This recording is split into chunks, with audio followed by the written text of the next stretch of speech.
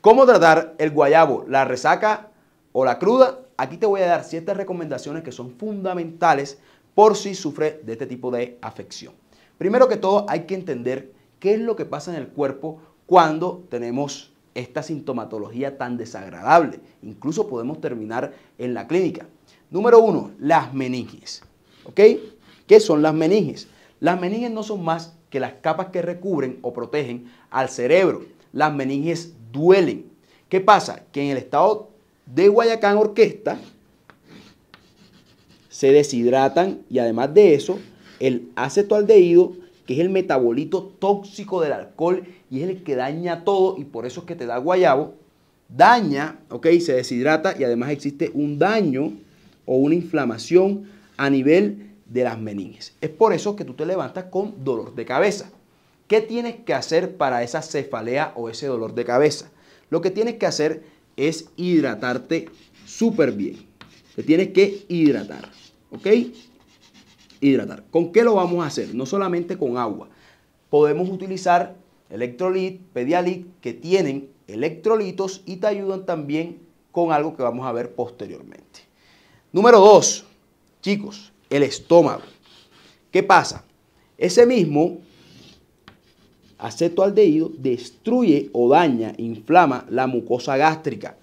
Incluso hace que se sintetice menos la mucosa, haciendo que el ácido clorhídrico penetre directamente a nivel del estómago. Es por eso que tú te levantas que no aguantas el estómago. Vómito, diarrea, te vas para el baño todo el tiempo y es por el acetoaldehído que lo está destruyendo. Recomendación, puedes utilizar un protector gástrico, ya sea el omeprazol, ¿ok? El sucralfato, entre muchos otros, ¿ok? Lo puedes utilizar sin ningún inconveniente, porque si no va a haber más daño a nivel de la mucosa estomacal. Esto puede atenuar los vómitos y la diarrea. Ahora, vamos a ver los trastornos electrolíticos o hidroelectrolíticos. Aquí la recomendación es seguir lo mismo que la primera. Puedes tomar sin ningún inconveniente el Pedialit, ¿ok?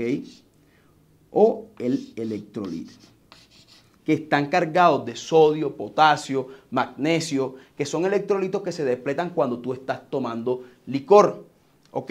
Debido a que producimos una diuresis en exceso ya que la ADH está bloqueada, que es la hormona antidiurética, entre otras cosas. Es por eso que tú sales deshidratado y al día siguiente también tienes mucha hambre, porque además de eso, de los electrolitos que nosotros tenemos que se depletan, también se depleta la glucosa.